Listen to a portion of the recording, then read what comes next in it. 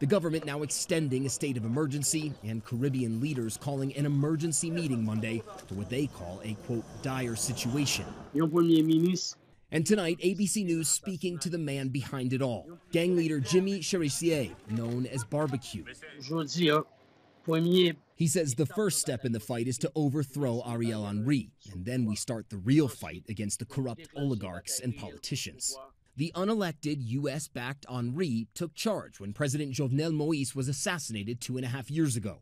Poverty, violence, and hunger soaring on his watch, now even the U.S. pressuring him to step aside. Barbecue is Haiti's most notorious gang leader, a former police officer responsible for an explosion of violence.